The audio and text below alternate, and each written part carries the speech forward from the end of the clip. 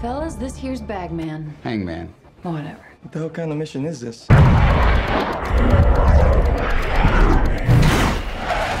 The first script that we read was um, very different from what we ended up with in the end. Everyone here is the best there is. Who the hell are they gonna get to teach us? That was to do with them, um, all of us really meeting amazing female aviators, really considering how they show up to work and like what we wanted from her in this in this film and you know how they really wanted her to be a role model. I mean everyone was really invested in making her look you know smart capable strong skilled.